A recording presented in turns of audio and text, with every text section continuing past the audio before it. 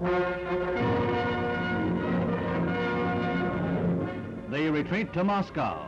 Russian ships steam out from Cuban ports with their decks loaded with missiles the Soviets are withdrawing under pressure from the New World.